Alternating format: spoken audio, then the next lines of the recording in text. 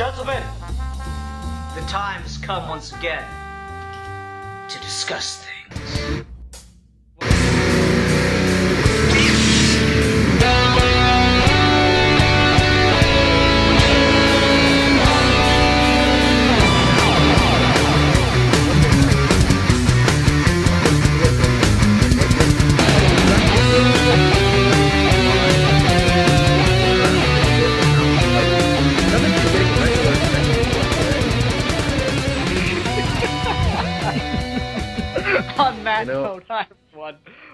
Welcome to this week's episode of Geeky Gentlemen. I am Sid Partu. Joining me today is Milan Jeptic 1992 and Steve Baxi. Hello, gentlemen. Hello. Hi. Uh, gentlemen, what are we discussing today? Oh, I thought Milan was gonna go. Um, Okay, um, I'll answer Oh, fuck then. that. I, yeah. so who's going? Okay, Yeah. This this week, um, we are continuing to celebrate Horror Movie Month here on Geeky Gentlemen, and these two fucks don't know what the hell they're doing. We're continuing to celebrate Horror Movie Month here on Geeky Gentlemen, and we are continuing Horror Movie Month by watching the 1986 film The Fly. Hooray Oh, and fuck stuff! There should be a sound effect there. Yeah. Mm-hmm. Boom, boom, boom, boom. Boom, boom, boom, boom, boom, boom. Boom, boom, boom, boom, boom, boom, boom, boom, boom. I don't know why I just hummed the. Okay, John fucking- Williams. Okay, yeah, that's right. It's just um, fucking anyway, oh, the Jurassic fly. Park thing. Yeah. yeah. Yep. Alright, so, um, Not as Episode- shocking as I thought it would be. Shut up. As I said last week when I was introducing this, I had a feeling Mm-hmm. when we did horror mov- when we started out on horror movie month that Milan was going to pick something just completely insane, and he did. Yes, he did. And that Steve was going to pick something that we could intellectually debate about, and he did. We did.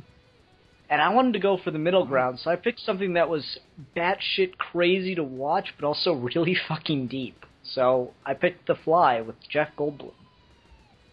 And I Mm-hmm. really fucking love this movie. This is such a good movie, but it's so hard to watch. um, in a good way. Why? Yeah, th- Why is there's moments of it because it's such a psychological horror thing. Of i- i- if you're watching it continuously, no matter how many times you've seen a scene, it it still feels kind of terrifying. I mean, there's Ugh. that, and then there's just the fucking gross factor of, you know, he vomits on shit, and, like, that's hard to watch. Yeah. Um, Mm, like I was watching this with Haley, and I told I warned her that it was gonna be gross. And then when the the first like gross out scene happens with the baboon, but that's short enough and it doesn't linger on it very long, so she got over that. But then there's the first big gross out scene when he's arm wrestling, and oh my Ooh, god, yeah. ah, And then just the progressive eroding of his face and everything. Mm-hmm. uh, it's such a white bread movie. I mean, holy shit. I mean, it's so bland and just, like I seen this movie. I'm like, I was expecting to be shocked, but instead I was just like, eh, man turns into fly. I, uh, I've this seen happens all the things time in Soviet Russia.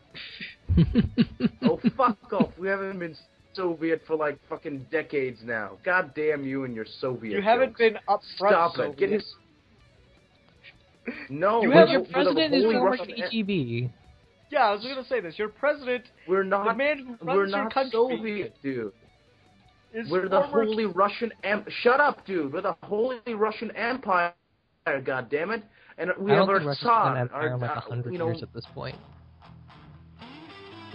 Well, Anyway. fuck, we're getting there. You know, one country at a time. You know, praise, Tsa- uh, praise Tsar. You know, Putin the first. okay. Um, Anyway, um, Yeah. so Milan, what are your First of his thoughts? line. Um, it was good. I, I like the fact that it was um, actually intelligent horror. Like when I heard David Lynch, I kept expecting crappy cheese. um, because you know we they live is is a fun movie, but it's just like popcorn They fun. Live it had the weird gross. David Lynch. I who cares? Who gives a fuck? Anyway, but like I was I wasn't expecting this level of fucking uh, intelligence really. I was expecting a fun 80s gross out fest, but in reality, I got a rather clever character study with genuine characters that act like human beings in a realistic location, uh, somewhere damp, you know, uh, and filled with poor people. And uh, Jeff Goldblum is just a delightful motherfucker. He, he's not the nerd, quote unquote. He's an actual adult. Shut up. He's an actual adult who has charm. And like, he, is adorable. Like I've never got that before, but he's he's an adorable guy. I can see like like yeah, yeah, definitely. But he's a fish person, which is odd. You got a big googly-eyed Lovecraftian Innsmouth fish person turning into a fly. So yeah, of course, there's a lot of you know very Lovecraftian themes in this movie. You know, kind of it, what really reminds. This is really kind of um this kind of reminds me of Colors Out of Space in a way. The kind of the degeneration of the body over time. Uh, yes, what? Ти ти говориш. С другом, папа. Де ти другу зум? Что? Да я hoću da je tragam tvoj mam. Okay, anyway, Milan No, Mike. ona ne razrešaje. Da sam ja zloj. Sorry. On Basically, he microphone. says that he wants to have. s- I can't right now. God damn it. Go away, papa. Anyway, sorry about that. I'll just get rid of him. Just where's my hammer? anyway, um, yeah, it is. I, I can see that comparison to to Lovecraft because it does have that that character kind of not writing everything down, but documenting everything that's happening to him. Um, just because that's the only way he can possibly hold on to any sanity. And like I'm sure in my my favorite scene, um, when he starts filming the Brundlefly um, documentary for children, um, I'm sure Milan wants to make the joke. Oh, I remember that documentary from when I was a child. um, Funny enough, there was a guy. Yeah. Funny enough, there National was this Museum weird of Brundle. deformed guy. Yeah, yeah, dude. We get to see, like, dude. He, like, it's so weird because it's, it's so fucked up. Because like you pan, you pan into the pantry and you see like his, you like his liver or just little bits of organs, but they they look phallic enough and to like holy shit, his cock and balls dropped off Mm. and because he like he walks around naked and he's and he's essentially a Munich now, and that's fucked up. All the like subtle implications of of this whole transformation is just gorgeous, like uh, just beautiful, and it's uh, yeah in, in its execution. I mean, like this is amazing. Like the film, the cinematography, and just the storytelling in this. I mean, like you'd never have something of this class today because today it's all gonna be like fucking CGI polish. But here Oh. it's actual fucking. Oh, no, really, a CGI polish. You know, the Fly would be a CGI character, and if this movie was to be remade today, in reality, they don't go overboard with the uh, prosthetics. They don't overuse them, you know, to the point where they lose their punch. I mean, they use them just enough to just punctuate the story points, you know. They use them for a reason. They're not just like, look at what my effects team can do. Of course, there's an element of that, but that, you know, Yeah, the, the, the director, really yeah. bad rap because of people like fucking Michael Bay that just overuse it. But when you use CGI well for effects, it does look good just to Oh, justify. definitely. Yeah. I don't know. I just get really Yeah, annoyed when everyone's go-to is, "Oh, they just overuse CGI." I'm like, that doesn't. Well, the thing they is- just use CGI to do this. That doesn't mean it'd be awful. Um, I'm not- I mean, not- like I'm not- go-to you know, I'm not- I'm not talking something shit like about- Pacific Rim or. Hellboy, where you've got a really good set design going with the CGI. yeah. Definitely. Um, it's just shit like that. I'm like, really? Come on now. Just everyone shits on CGI for no reason because fucking Michael Bay uses it. Um, Yeah. anyway, yeah, I just the, the prosthetics though are absolutely jaw dropping, so fucked up, and oh man, it, it it really fucking bugs me to see sometimes. like, no lie, when when his ear falls off, that's just too much. Um, Um, That and the, the one that sticks with me. I was telling Steve about this the other, the other night after Milan got off, but um, the scene that sticks with me from this movie the most is the fucking abortion dream sequence. yeah. That one just, oh man, like, I think what's what I, I've really been thinking about that scene over the last couple of weeks, and what I've come to the conclusion of, and I'm gonna get to my conclusion in a second here, but um, I think it's so successful because of what it exactly it's blending in what it's showing, and what I mean by that is American films have a lot of violence but very little sex in comparison. Like they they have nudity, they have sex scenes and all that stuff, but they don't have as much of it, or it's not as it's not as in your face as the violence and the gore is. And conversely, European films have a lot of sex that's really apparent, really a big part of the story, and you see a lot of it, but they don't have very much violence or gore. And I think that The Fly in general, but the abortion scene in particular, mixes those two as upfront and in your face in just such an really shocking way that's it's very impressive because it takes both extremes of how uncomfortable both those um, styles of horror or styles of whatever filmmaking can be and it puts it on screen at the same time and it's just really fucked And it helps that it, this is a movie that's really building towards its end. So you establish early on that between these two protagonists, it's a physical relationship. They don't hide the fact. They don't use sex scenes just for the hell of it. The fact that you know that these two are very physical with each other, and this is a very physical thing for both parties, and it culminating in a sense with an abortion scene, the emotional weight's there, along with just simply how well directed, how well put together that particular scene is. Yeah, definitely. I mean, it just wow. And when that larva comes out, I mean, Uh, yeah. honestly, you you could cut that scene and just take it on tour and give it to the pro-life people, and it'll be the best propaganda that they could ever have. um, that that scene is very good for creating a pit in anyone's stomach, I would imagine. Yeah. Oh my god, it's just it's so graphic and it's so disturbing. And honestly, the larva's only on screen for like two seconds. Yeah. and then it's over. But there's just so much going on behind that. Yeah. It's just that one just sticks with me every time. Uh. And I mean, to be honest, have you ever seen an abortion on screen before?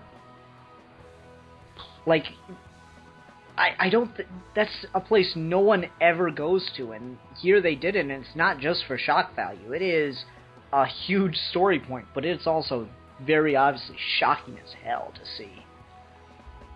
Yeah, um, i i- it's not abortion and childbirth just for the sake of it. Like, there's an idea behind it, and I, I don't want it to sound like all artsy fartsy, but when you see that worm thing just come out of her, it's an idea as much as it is it's a, scary visual, and just the idea of something like that could be inside of you as a consequence of what happened and who you are with.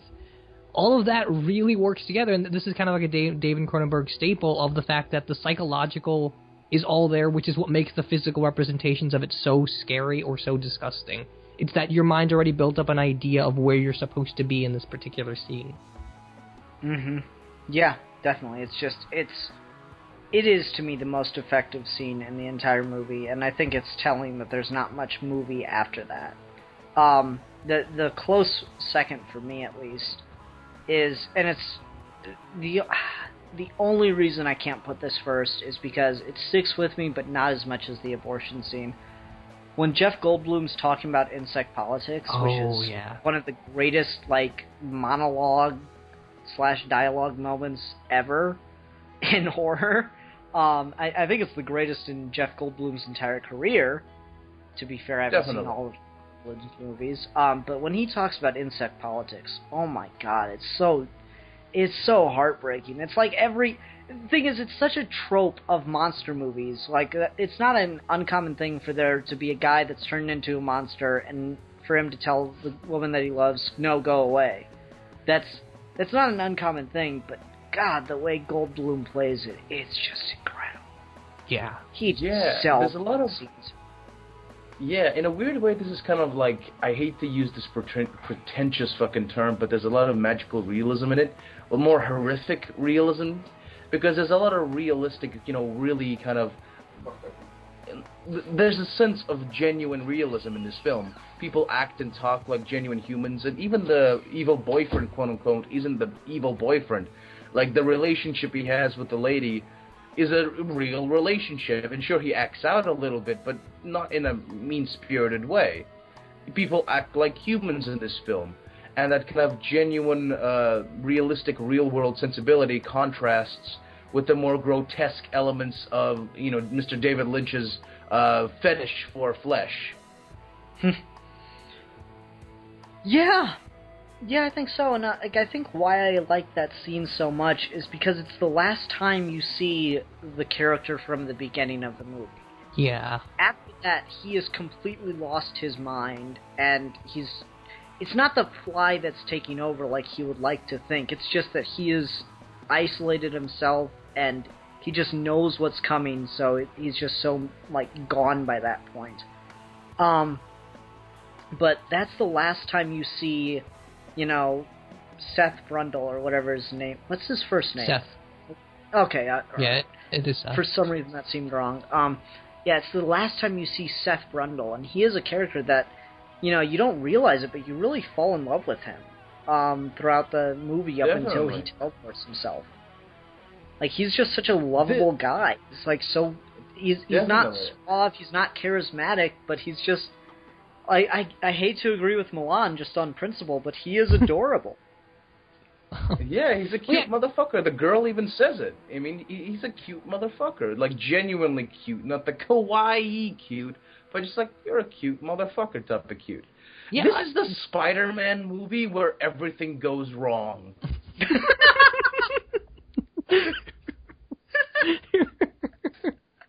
I think we found the clip. I, I don't think there's a more perfect summary than that.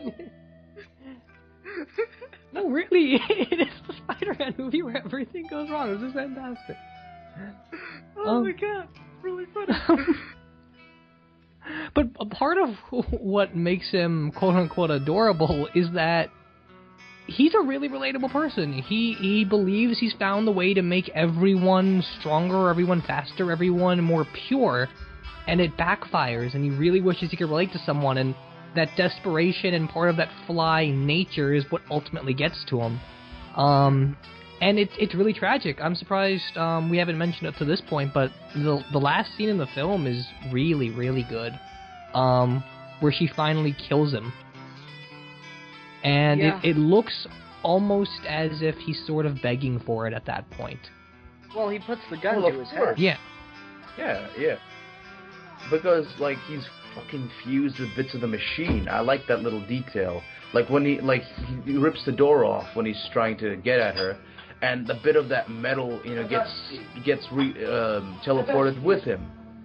Uh, and like when he get, shut the fuck up. Basically, when he try when he crawls out of the other teleporter, he has fucking bits of metal stuck into him. He's essentially a giant half metal, half man flying monstrosity at that point. Uh, you know, look, all these atoms are completely fucking re, you know, rejambled. So of course he's gonna beg for death. He must be in intense fucking physical pain. Because he's fucking cable. No, he's not because he's fucking Cable, Mickey. Cable is a badass. Not this is the Fly. Oh. The Fly is adorable. Uh, When he was human. I would not use the word the adorable to associate with Brundlefly whatsoever. whatsoever. agreed, agreed. I don't even want to think about hugging him. See, it's it's really funny. Um, a while for a while now, Haley's had this joke that she'll tell every so often, where she'll use a little bit of science. And for those that don't know, every time a fly lands, it vomits. So if a fly ever lands on you, you have vomit on you.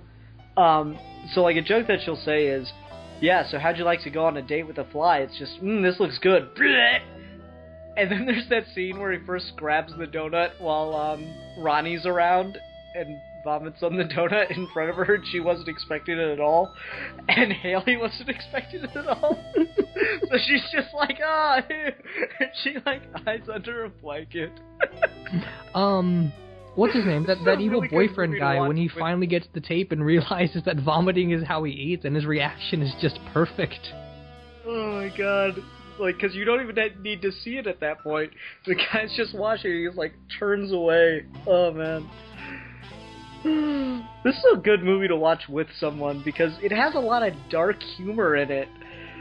Um, like when Goldblum throws up that first time when his e- after his ear falls off, um, it's disgusting, but it's also meant to be kind of funny. Um, because he goes, oh, she, dude, his ear fucking. Fall. This is the second film in a row when a fucking person's ear comically falls off. well, not in a row, but yes. Um, Yeah, I mean, but anyway, uh, like it's so that his ear falls off, and then fucking like she hugs him. She puts her head on the womb where his ear used to be. I'm like, dude, what the fuck is wrong with you? Don't hug him. Like that, that's unsanitary, bitch. What's wrong with you? you know, just just just It was the throwing 80s. in a. Yeah, I suppose so. But then AIDS came along. Yep. Yep. That's the thing about life before the 80s. Everyone was just fucking bleeding on each other all the time. It was no big deal. um, Needless to say, it was a very disgusting time. Yeah, yeah. Um, Anal cunnilingus was like just like this is how people shook shook hands back in the fucking eighties. They'd just lick each other's assholes and shit in each other's mouths for a little bit, you know. And now then, like God looked at that and said, "Ah, here's some AIDS," and then people died and got wise. Um, I can. I like that we mentioned that I a little bit. jokes. Um, because there's a lot of people who, and David Cronenberg doesn't think that this is part of the film, but people are using, or were at the time, were using this as kind of an allegory for AIDS at the time. oh god, no. Yeah, I- a terrible allegory for AIDS. It is, and he's David Cronenberg even gone out and said that that's not what he intended in the slightest. But there's a lot of people Yeah. analyzing it from that perspective. Yeah, well, those people are fucking retards because apparently, if you fuck a man, you'll turn into a hideous fly monster. Kids, don't do that. I'm just trying to see where the argument is. Is it just that he had sex and turn? I don't get it. Like I just I just can't see that because he doesn't get it from having sex. Um, I guess she almost dies from the having sex, but Yeah, yeah. I, I mean, like he gets it from spitting in the face of God. Yeah, definitely. He gets. Well, he see, turns like, into a fly. He, yeah, well, let me just get this thing out. Oh, He- sure. He, gets this. His yeah, he gets this horrible disease because he spits in the face of God, and that's bad. Like, and but really, it doesn't have that kind of you know Jurassic Park science is evil. It's just like, dude, you know, just be careful. You know, he invented something glorious, but he. The thing is, he did it in his fucking basement. Like, if, you- if No, you no, had no, a wait. proper. let me get in let me get in here because I know the perfect thing to say to this. All right, this is not a movie about science going too far. This is a movie. The whole moral of this movie is don't make decisions when you're drunk. Um, Pretty much, yeah. I mean, Yeah, and like yeah. it's dude, look, if you're making a teleporter device, don't you need an actual lab with qualified professionals, not just you, some random dude in in the ghetto? You know, what's wrong with you, dude? In the ghetto, I live in the ghetto. There's no white people here. It's amazing. You know, there's I mean, just I brown and you're coming from, Milan. I guess I see where you're coming from, but like they do kind of mention it briefly. It's it is damn near a throwaway line to just explain why Jeff Goldblum's character isn't a super genius. But um, he mentions that he's just piecing it together, getting like one guy to build this part, one guy to get this part, and he's like knows how it'll all work together, but he doesn't know how to do every single part of it. And he, the company that funds him is funding it, but he's doing it cheap enough that they don't care yet. So he doesn't want the fame attached to it, or he doesn't want like the the attention that it will draw to distract him from what he's working on. Yeah, Um, and you know is- what? At first, I thought Yeah, yeah. The, at first, I thought it was gonna. He was worried that you know if he, you know, he if if he can like teleport like inanimate objects, people will just go, oh, we can do that, and some great big old company like the company from RoboCop would just see that and said, oh, that's good enough. We can teleport people. Like, but no, no, no. Like, I need to fix some other things. No, it's good enough. So i- i- if you have this great invention, and if some co- corporation get their claws into it, at that point they could do the whole '80s thing of like corporations don't give a fuck about safety, you know. Mm-hmm. But it, it's I, I interesting see if you, you're getting at. yeah, yeah like but it's let me actually interesting. mention They had a, this. Um, yeah. Let me mention this while it's still relevant. I was watching a review of the sequel, which I mean, when you hear that they made a sequel to this, the first thought is that sounds terrible. and to be fair, I don't know yet. Uh, I do plan on watching it because, from what I heard, the general consensus was it's not as good, but it's not awful. Um, so in the sequel, the company that he worked for actually got a hold of Ronnie, and she never got to get the abortion. So they have Brundle's son, who, and they have his teleportation machine, and they have all the tapes that he made and stuff. That's the that's kind of the premise of the second movie, what you're just talking about. So that's interesting. What happens in that film? Um, his son is like ha- has like the whole fly thing going for him too, and he like grows at an accelerated rate. So when he's five years old, he looks 18, um, and he's super intelligent and all this stuff. And the company's trying to figure out how to get the um, the teleportation machine to work on people, and they can't do it, and they deform a dog and and shit like that. And then uh, the son starts to turn into the fly and yada yada. So yeah, Hmm. it's That's it, it? looks interesting. I'm going to I'm going to watch it. Um, I don't want to spoil the end of a movie we're not reviewing. um, Definitely, definitely. Because you know, if we spoil a movie that we're not watching, or not, none of us have watched, I'm assuming. well, like know, the- my hope like- would be yeah. that that someone might watch this, not know that there was a sequel like I did, and then maybe they're gonna want to go watch the sequel. So, I suppose so. Maybe not um, watch. 'cause I'd never heard of a sequel to that this movie. I, I had no idea it existed. Yeah, because the ending is kind of perfect for what they were doing, so a sequel just feels unnatural at that point. Yeah, but I mean, from what I can tell, it, it made a lot of sense. That being said, I did have this one nitpick when I found out how they like set up the sequel. So they have Ronnie have the baby, and like it, you could make an argument that she appears to be forced to in that movie, and that's all well and good. But I'm like, well, you had the damn ho- crazy slut hooker bitch from the bar. Why didn't you use her? You know, it, it just seems Well, like a really crazy- silly thing. Yeah, it's true. Why is she, why is she crazy? Because she went home with a guy after he bet on her in an arm wrestling match. Oh, and she saw him rip that guy's hand, yeah. and she Oh. just thinks that's really cool. that's just.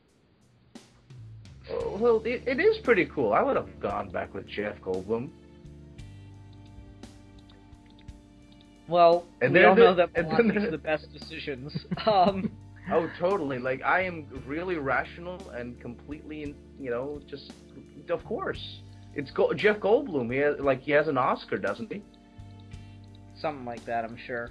I believe he does. Yeah, Yeah. definitely. You know, yeah, there we go. So fuck you. Even if he does turn into a hideous fly monster, you know, you, a good man like that is not a thing to throw away.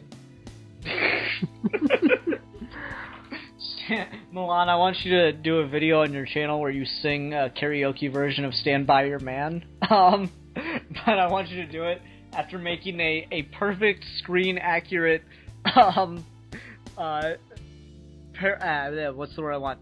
Um, a, a perfect screen accurate life size puppet of the Fly Monster, and I want you to sing it to the Fly Monster. Stand by your man. Okay, sure. Uh, I already Do it. have a Do it complete now. re- I already have. I already have a replica of the fly Prosthetic. monster. That's the word I want. That's, you know, he's actually rather gooey. You know. it's just it's just it's it's it's it's delightful. Anyway, um, yeah, this is it, just how do they do that whole part with him cleaning like climbing on the walls? Do they have like a rotating room or something? No, I think it was just Spider-Man style, just the way you shoot it. Hmm. Like you know that famous scene in Spider-Man where Peter Parker climbs up the wall for the first time. I, I seriously think Mhm. that's how they did it. Just clever camera work.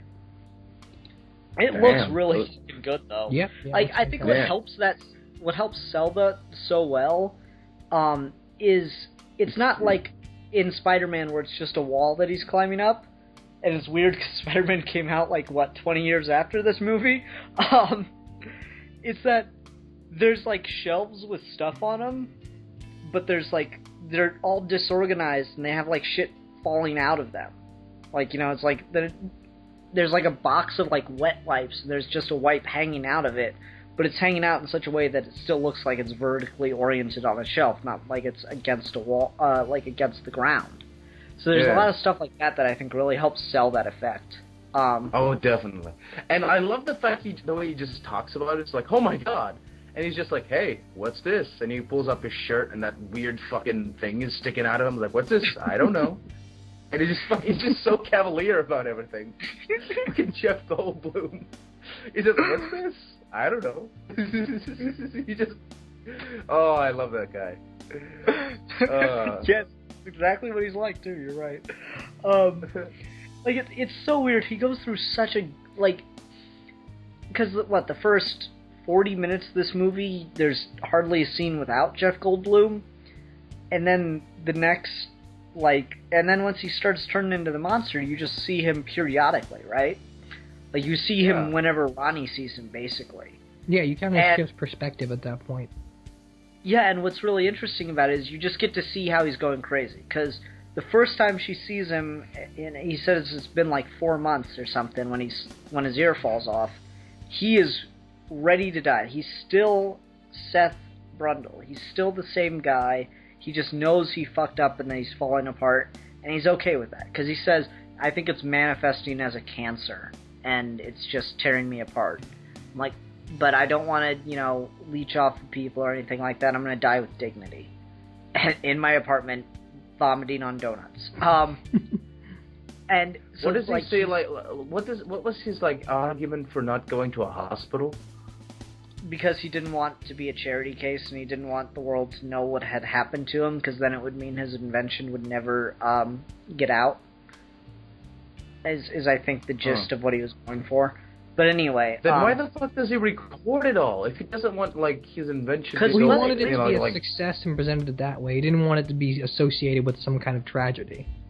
Yeah, let, let me get to that though. So then, the second time you see him, when he's doing the fucking wall crawler thing, and like you said, this is just the Spider-Man movie where everything goes wrong. Um, you know, that's what they should do for the next Amazing Spider-Man is the um, the what do you call that? Where Peter Parker turns into a human-sized spider. Um, Uh, what's the name for that thing? I have But- no oh idea. yeah, fucking Andrew. Gar- oh yeah, with Andrew Garfield. Anyway, anyway, like, let me let me get back to what I was saying. No, no, no, no, Yeah, but, let me- with let me get Andrew back to what I was Garfield. With, before you do, before you move, move, before we move on from this point, like I would love to see Andrew Garfield with like two extra hands because he's such really expressive hands. You know, Hmm. that'd be great. I'm not sure I would do it, but it'd be cool to see. Anyway, um, so Oh, like there's then there's the next time we see uh Brundle and he's like you know crawling on the walls, and you can tell that the isolation and the fact that he knows what's coming has just shocked the hell out of him. And he's just trying so hard to hold on to. I'm a scientist. I must you know, I must do the things scientists do and document it all. But he's going crazy because it's like, oh, I'll show this to children. I'm like, no, you know this is awful. You know it is. um, I think he was just joking with the whole children thing, like kind of sar- sardonic humor. He wasn't serious, was he? no, I think the character damn near meant it because he'd just gone that fucking off the rails. I think it was just kind of a I joke. think the- I'm going to think show this to kids. No, I think it was funny because it's like meant to be funny from our perspective, but I don't think the character thought it was funny. Oh. See, Steve, what do you so think? hard that brings up a bit of an Jeff Goldblum- interesting point because you mentioned earlier that we get half of this movie entirely from Jeff Goldblum's perspective, and then we shift and we see him slowly going crazy. I wonder if, taking that joke into perspective, if maybe he's just crazy all the way through, and it's really of a matter of we got to see him rationalize it early on, and we didn't later. And if we perhaps had 40 minutes later of him in transformation, he, we wouldn't think he's as crazy as we do now. Maybe. Because I mean, that, that think, joke like- certainly sounds crazy, but I mean, if we had two minutes before or two minutes after it, it might even fit together. Because this is also the guy that just brings a reporter randomly over to his house because he invented teleportation, and he thinks it's a perfectly rational idea to send a baboon through it and then send himself through it while he's drunk. Like he can't be all there even in the beginning. Well, to Well, be he's a fair, like quirky he wasn't planning to send the. He, to be fair, he wasn't planning to send the baboon through and then go in himself five minutes later, like he did. No, That but was just the fact that sort he's of- able to rationalize it at that point, even if he wasn't planning on it. I got he you. was okay. drunk. Yeah, but still, the, the fact he makes decisions off And that and once does again, things people like make that. the best decisions when they're drunk, don't they? Oh, of course they do. That's how Russia managed to stay so strong for so long. Oh yeah, with your fucking crumbling economy and your goddamn fucking Hitler Jr. Um, Oh, come on. It's he's not Hitler. He's fucking, you know, he's a he's a Tsar. He's a, he, ready, ready for gay people to start having to wear pink triangles? Um, anyway, yeah, Uh, yeah. I suppose you're right. The whole pink triangles are quite fashionable in Russia. well, actually, it's I'm I'm fairly impressed with the uh, the I guess I'll call it the homosexual movement where um, the pink triangle was adopted. I was I was really impressed by that that turn. I like the pink triangle significantly more than I like the rainbow flag. I think the rainbow flag is Definitely. stupid, to be honest with you. Um, Yeah, because uh, like some of those colors represent magic, don't you know? Fucking seventies, well, no, I just think the rainbow flag looks like looks so like I think the rainbow flag would be something that someone that doesn't understand gay people would like choose to repu- represent gay people with. Um, it's like it's like Definitely. a white guy designing the black power fist instead of a black guy. Um, I don't know. It just it doesn't seem to work for me. Anyway, anyway, anyway, back back to the fly. I don't know, Steve. I, I guess I see what you're saying, but with with the scene in particular, do you think that the character meant it as a joke, or do you think it's like him just being nuts? I think it at that point it is just him being nuts. Um, Oh. And again, I, I believe that the fact that he is not just comes from what perspective we're seeing him through. hmm Um, un- unless you had somewhere else you wanted to go, I do want to bring up another area we could talk about here. Go for it. Um, do you think this is a science fiction movie first and a horror movie later? I think it's definitely. a perfect blend of both. Okay, um, I- because the reason I say that is it, it doesn't follow necessarily the the 80s horror movie format of like doing something scary to set it up and then just kind of doing something thrilling every few minutes in. It's it's really slow building and it's Mhm. about the fact that this guy made something first and the ideas that represents and the kind of person that's associated with the technology before it does anything to actually frighten us. I guess I'd see that point. So if you mean like uh, when you said first, I was more thinking just in principle. Yeah, that's But sort of the I way mean. you're talking about it, no, the way you're talking about it seems more in just like actual way that the movie is paced. And if if you're talking about it in just the way that the movie's paced, I'd agree. But in principle, what the movie is trying to do is horrify you, and what the movie needs to do to horrify you, truly, is to make you fall in love with the guy. Which is why they don't have a scare jump thing every five minutes or whatever, and why they take their time. before you Definitely. But I think disgusting. still in principle, there's clearly a lot of science fiction ideas and uh, um, concepts that they want to bring to the uh, fold, even before they want to get to the fact that they want to terrify you with the fly and make you fall in love with the guy. Definitely. I guess, the thing with that, but- this is this is what most horror is. This is what separates uh, pop culture horror. I mean, popcorn horror from like genuine like artistic horror. Yeah. Like in popcorn horror, it's just essentially a giant meat mincing machine in human form. It's just like, hey, look at these fucking stupid kids. Let's kill them. well, maybe we can make you like them a little bit, but not really. You're just there to see the violence and the gore and cheer along with the villain. But with genuine horror, with intellectual horror, it's mostly like it's more of a Lovecraftian thing. It's or it's mo- it's mostly a Stephen King thing, really. They've kind of blended the ideas of Stephen King and uh, Lovecraft. With Lovecraft, you got you got the otherness, the weird otherworldly force that changes the human body and transforms you into something other than what you are. But with Stephen King, he brings that kind of character love to the mix. You, you give a shit about the character. Thus, the horror aspects really do have a genuine emotional punch to them because if you give a fuck about a character, you know, like the horror that you see them go through means something, you know? And that's why we're not scared of Jeff Goldblum. We're kind of, well, at least I'm scared of him uh, because I relate to him. I'm, I'm sad for him because it's you see this person who you genuinely grown to love over the film transform into something that's not him. You you see him transform into something grotesque and hideous and sick, and not the person that he, that you fell in love with. It's that kind of subversion of, of feelings uh, that you know real genuine intellectual horror brings to the table that I really appreciate. And I, I think in that mixture that you brought up, um, Hitchcock's definitely important to add because things like Psycho do this all the time too. Where Oh, definitely. you've got like half the movie is one yeah. very specific thing in order to set up the intellectual horror that becomes the second half. And I guess it's that why that's why Completely I would say yeah. that it's not necessarily a science fiction movie first because I've seen other horror movies that don't like set up a bunch of skaters right out the gate and do take their time to get to anything horrifying. And that's why like just because this movie happens to take that time to also set up the science fiction element that the rest of the horror is based on, I don't I guess I don't see why it'd be a science fiction movie first in principle. Well, maybe even It part of it is still that the ideas in this film aren't traditional horror genre ideas. It- it's definitely got that aspect of we fear the ugly and we and we need the ugly to understand the beautiful and it, it's got that there.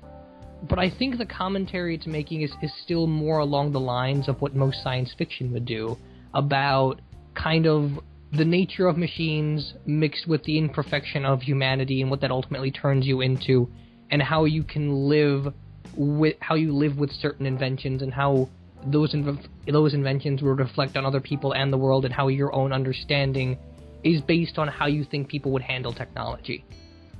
I agree, and actually, let me just say one thing. This movie has a line that has influenced my understanding of technology better than any, like, more so than anything else I can think of, any other paper in philosophy I've ever read about thinking machines and all that shit.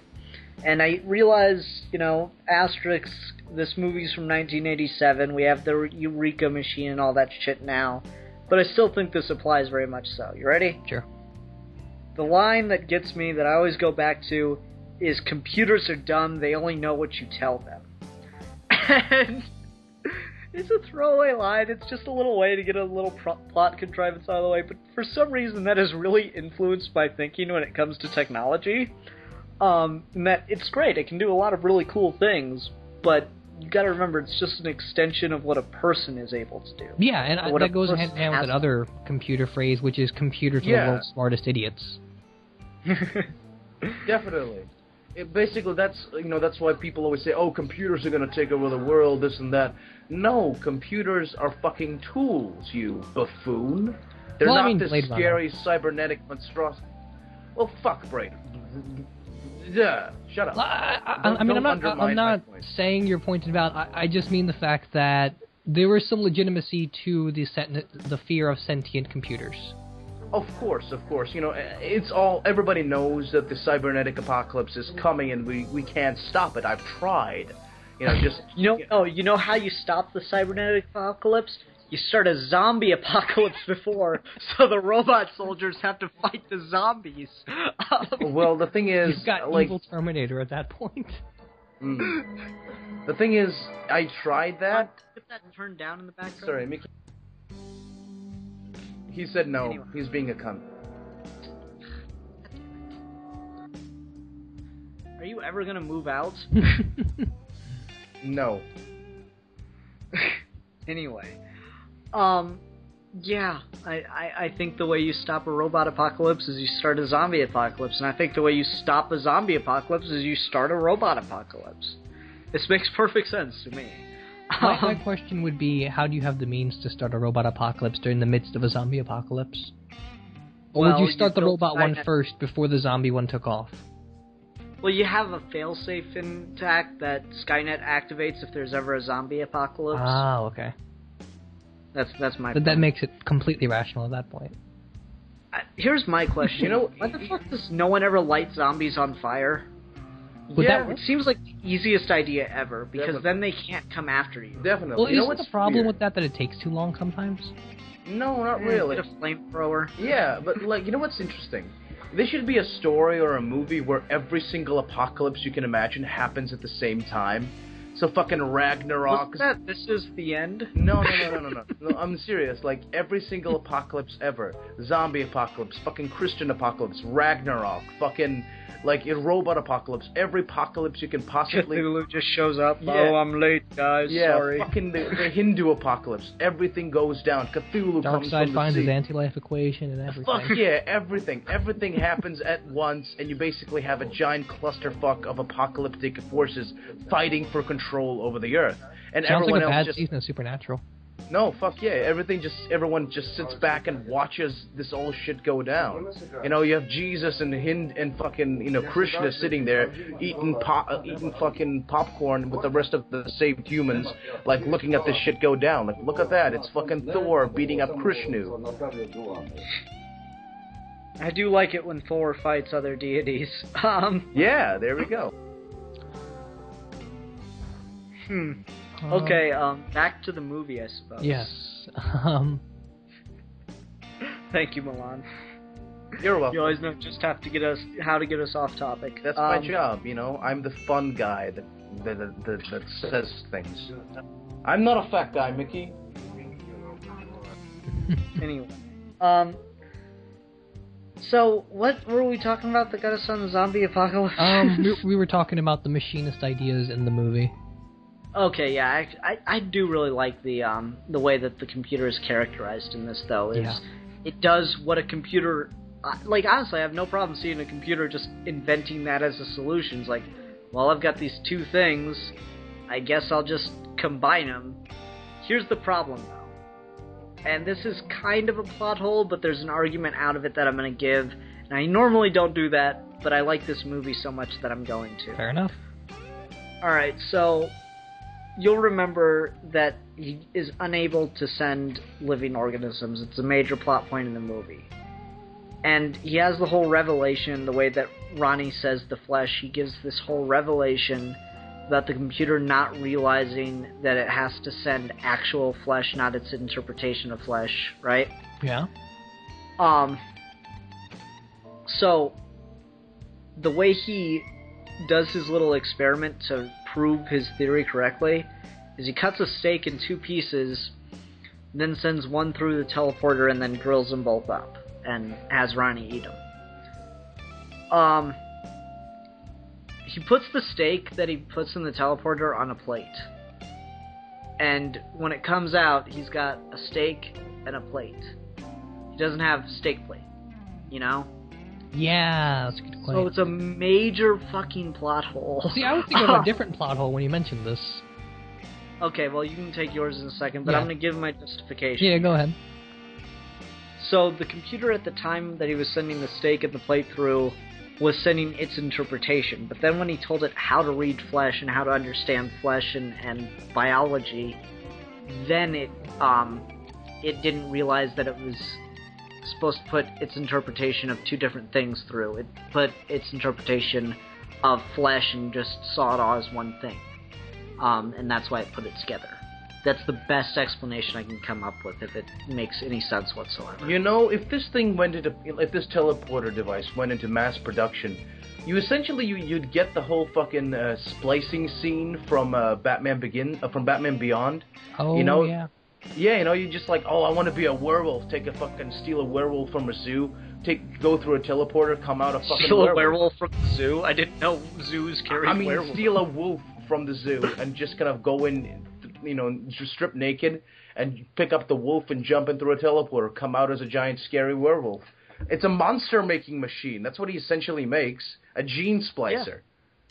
Which is Mhm. fucking badass. Anyway, Steve, uh, go ahead, Steve. What was your plot hole that you wanted to point out? Um, this is still pretty minor. I actually thought this was what you were building up to because it made me question the film a bit. Um, so the, the revelation he has is about the flesh and how it, ne- everything needs to be uh, constructed back using actual flesh rather than the interpretation.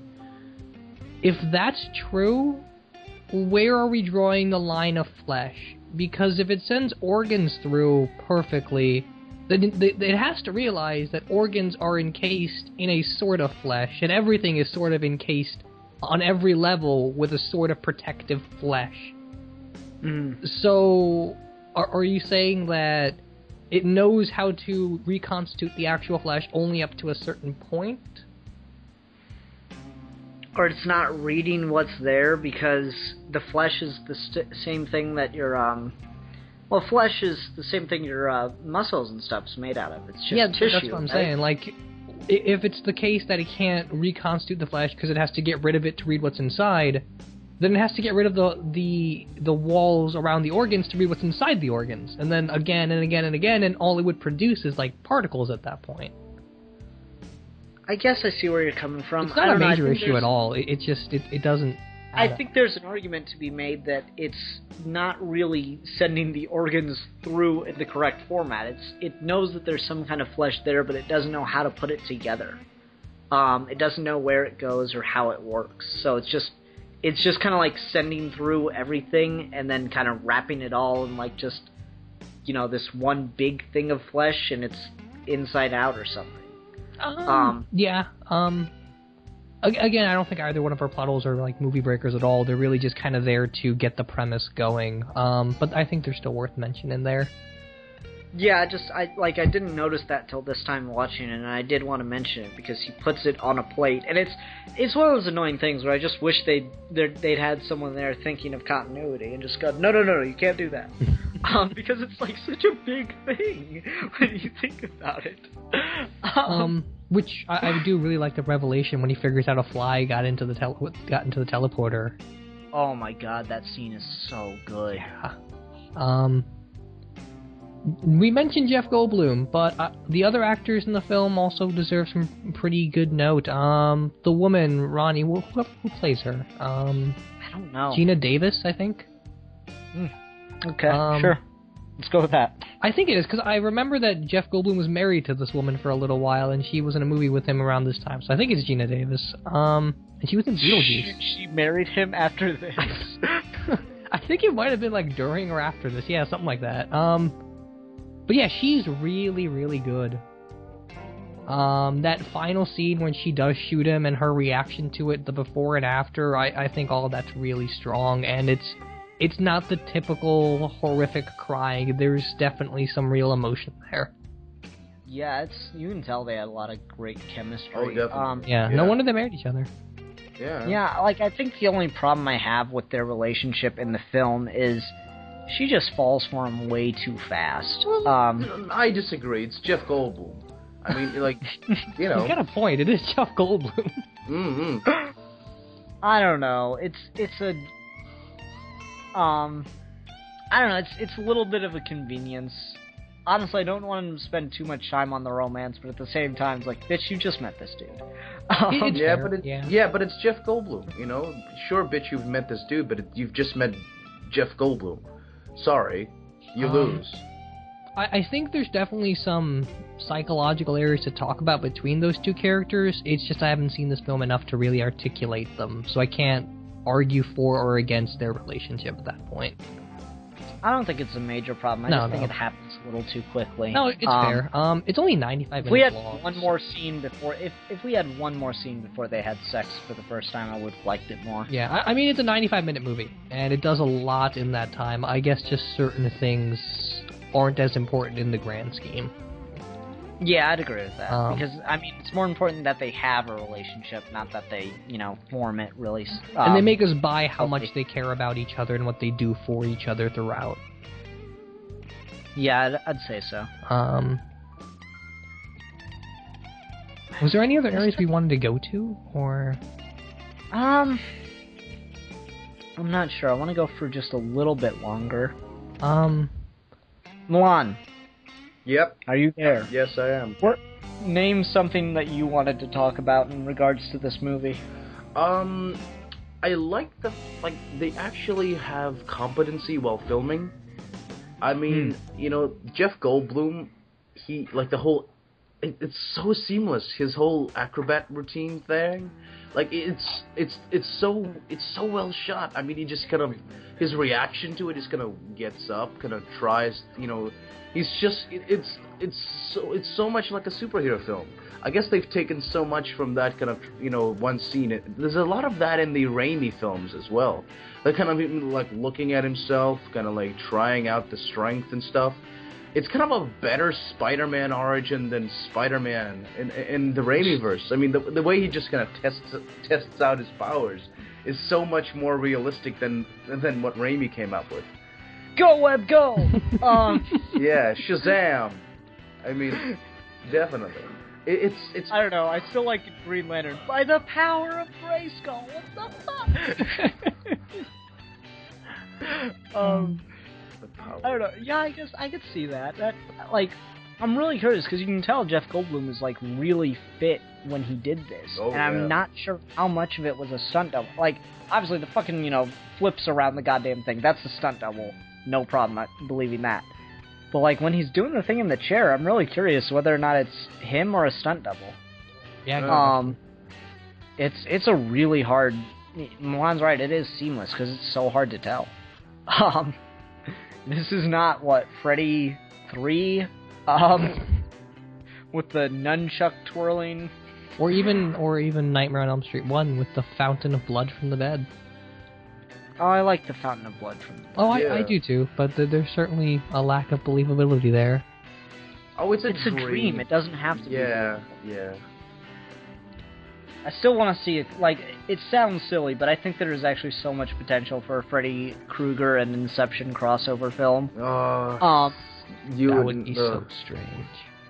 it would be so strange, but there's so much potential there. You have to admit. Oh, I, oh, I admit it. It's just a matter of who would make it and how how long would it take to get to theaters. Because I really do want to see something that insane at some point.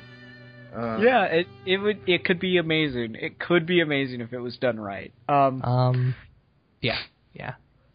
and also a Sandman versus Freddy Krueger comic book. I want that too. Sandman would Mm. kick his ass. Just saying. definitely. He would, but it'd still be awesome. It would totally be awesome. Yeah. Yeah. Um, Um, I, I, we just want we need to establish the fact that Morpheus would kick his ass. That's all. Oh, of Oh no, I course, yeah. completely agree. Okay. Um, Because Steve, Steve like likes Steve, uh, fucking Steve, the Claws came out like fucking Mor- Mor- Morpheus. He'll beat Freddy Krueger. Fuck you. That's all it is. you know what I just thought of, Steve? yes. Well, we're gonna have to do this at some point. We're gonna have to review Sandman, and you're gonna have to draw Steve as Morpheus because he kind of has the look. Oh, Oh, definitely. do I? Yeah. Yeah, I just it just hit me as you were saying it. I'm like thinking about Sandman. If you get your hair like more bushy, I think you could totally sell a Sandman cosplay. Well, it's kind of bushy right now, that it's kind of growing back. So Dude, um, I actually, you know what? I might actually do a Sandman motion comics somewhere down the line. Uh, shameless plug, I do motion comics on my other channel, the Russian Comic Book Geek channel. Uh, and can I hear your Sandman voice? Um, like, just give me your best Sandman impression ever. I don't think I have one.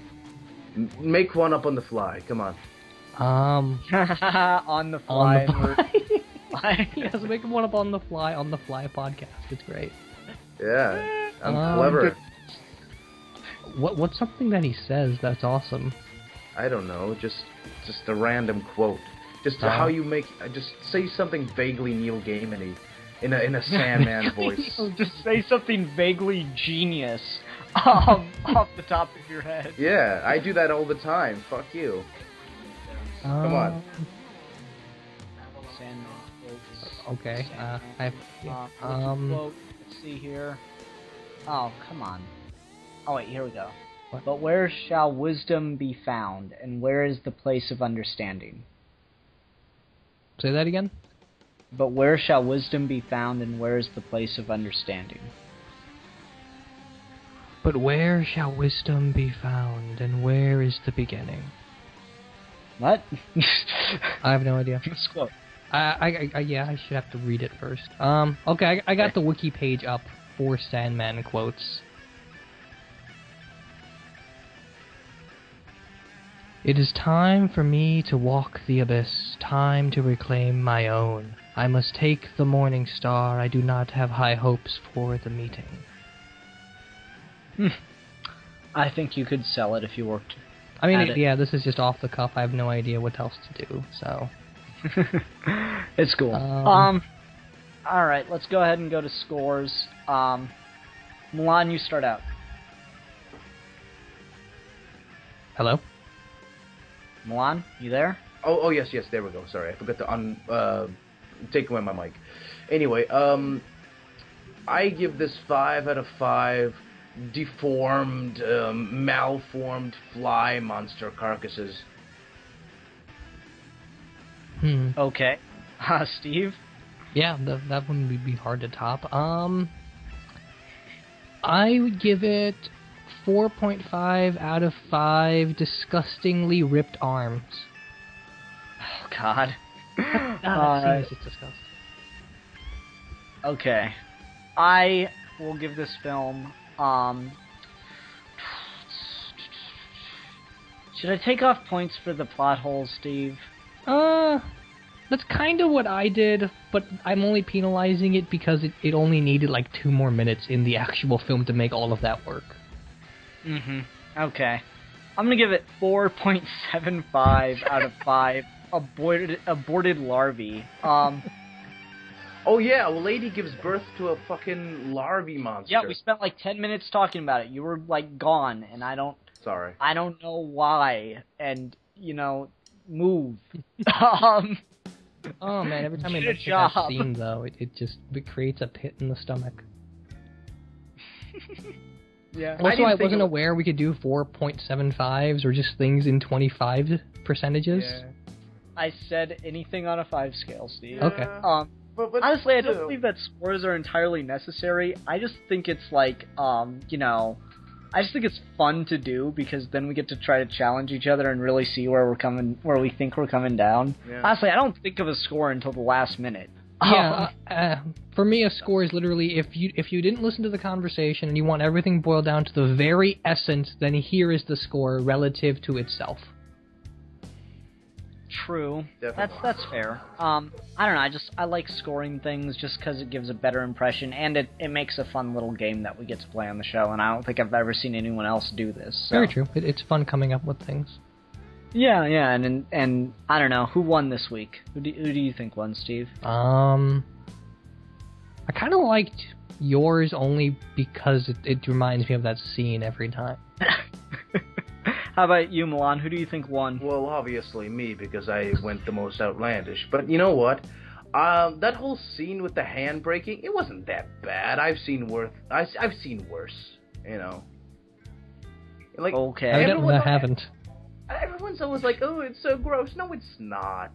What what's wrong with you? You you. you, you Oh yeah, we didn't even talk about the whole fucking vomiting on the dude's hand and foot. Oh yeah, and then trying to eat them. That was so like. Was. Honestly, this is. Um, I was talking to a guy at work about it today, and I forgot to mention this, but he goes, "So like, does he go around killing people?" And I had to stop and think for a minute. I'm like, no, he doesn't kill anyone in this movie. Fucks people up, but he doesn't kill anyone except for himself, kind of, Yeah, it's and true. and a baboon.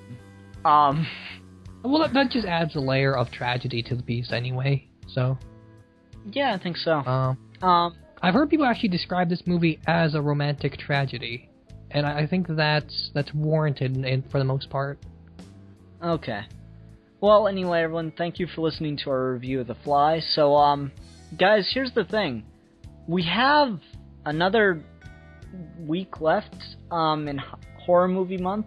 Um, but we've gone through the three of us, and so I'm not sure exactly what we're gonna do about another movie topic. I'm not sure, quite sure how to decide this. Um, I guess I'll poll the the like audience here. Um, what do you, who that's listening to this call right now has an idea of what what we should do? I mean, I've been sitting here jerking off, but I have an idea. Hi, Bill. Hi, Ian. Hi, Steve. Hi, Milan. Hello. Oh my God, he has returned. The prodigal son has returned from the desert. No, I don't Oh I haven't my- returned. I've just spoken up for the first time. I always sit here and jerk off while you guys talk. Well, Oh, I yeah, know. exactly. Yeah, yeah. He was Don't- criticizing don't us with his dick in ear, evidently. I mean, it's not not in a gay way. I mean, I watch Okay. porn while I'm doing it, but like, you know, you guys are in my ear, so Oh. it's not like you guys are completely absent. So, You, you fucking liar. You. so when I'm not, so when I'm not listening and I jerk off, it's a little bit weird. I get some confusing boners. Um, Yeah. but anyway, hi everyone. I'm I'm here, and uh, I have an idea for a movie that uh that you guys can review next week, and uh, I guess meaning I'll I'll join as well because I mean I'm gonna be there anyway, so I might as well talk. Um, That'd be that'd be ideal. I mean, I'm, I'm, I mean, I, I might be a little distracted, but you know, I'll, I'll do my best to, to multitask.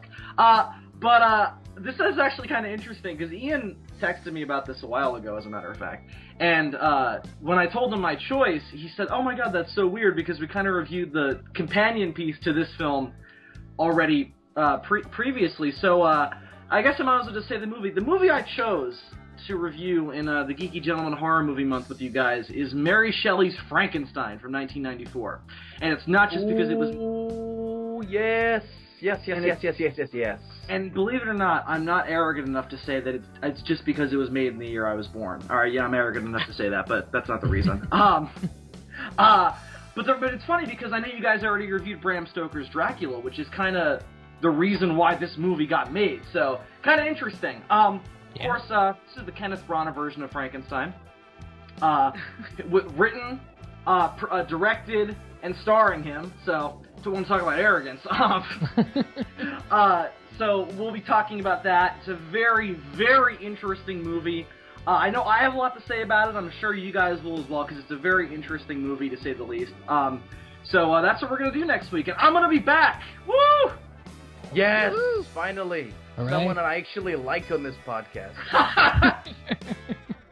God damn, Milan's got the teeth tonight. Oh yeah, that's right. I've been oh, it's great.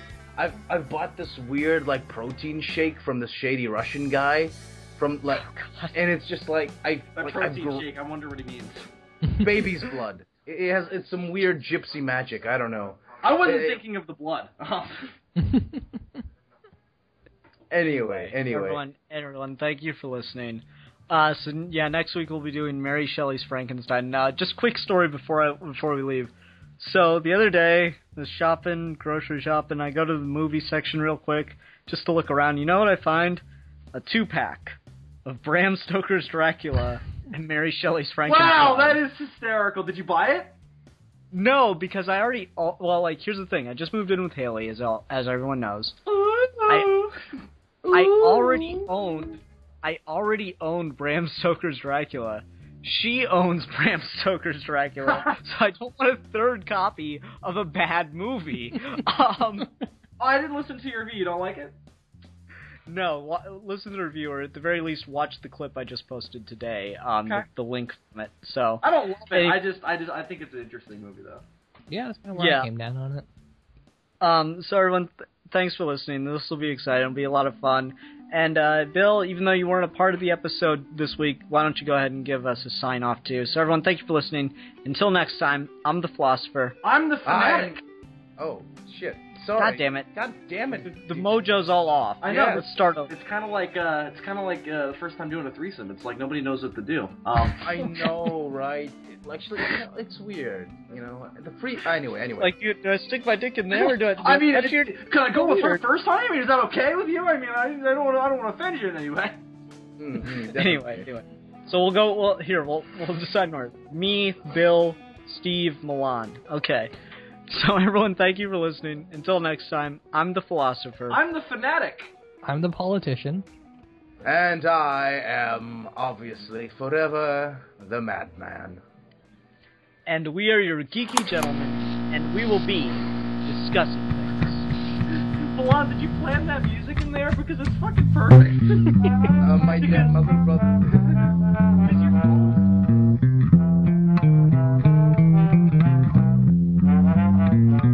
Mm-hmm.